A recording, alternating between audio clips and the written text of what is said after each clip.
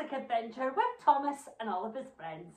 And today, Diesel spread some jokes about the other engines, and with it being Diesel, he isn't very nice either.